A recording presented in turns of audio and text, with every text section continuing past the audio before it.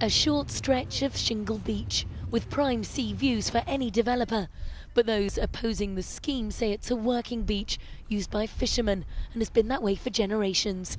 A fence has been erected and plans are afoot to create 69 dwellings here, a mixture of flats and luxury homes and a luxury restaurant.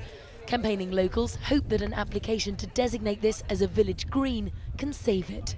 The whole point of it is to try and keep in perpetuity spaces that the public are used to using as a habit for walking their dogs, for flying a kite, for whatever it is.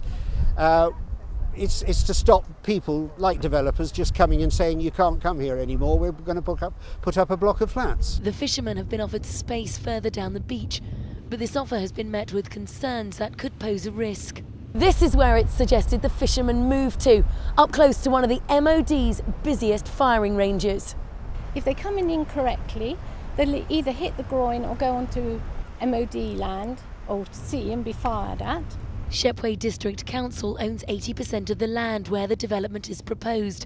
They say no decision has been made, and the views of the Town Council and comments made by objectors will be taken into account when their committee meets to consider the application.